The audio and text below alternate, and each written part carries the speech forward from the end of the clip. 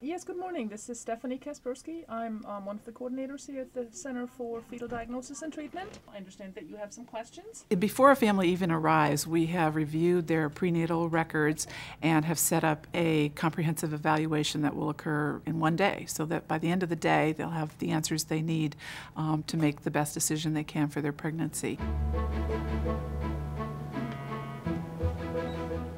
You want answers, and you want answers right away um, so that you can start feeling like you have, you know, a handle on the situation. The diagnosis can be tricky, particularly in the early to mid gestation. Misdiagnosis can occur with uh, any fetal diagnosis, and because of that, whenever we're referred a patient, uh, we always reevaluate that patient with our own imaging. Which includes uh, maternal fetal ultrasound, very detailed, uh, looking at the characteristics of the teratoma and also to make certain that there is nothing else wrong.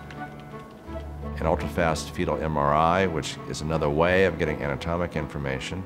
And the third crucial test is a fetal echocardiogram, a look at the fetal heart, just to look at fetal heart performance in particular. It was actually strangely comforting and meditative going through the tests because you felt like this process was starting to happen and that at the end of the day you were going to know something. We think it's extremely important for the mother to have at least the ultrasound, the MRI, and the echocardiogram done in one day, one after the next, uh, meet with our genetic counselors, our advanced practice nurses, uh, have some financial counseling if need be, and then to meet with the team at the end of the day so we can review the findings and go through our recommendations. No one was going to tell me everything's going to be all right because they couldn't tell me that.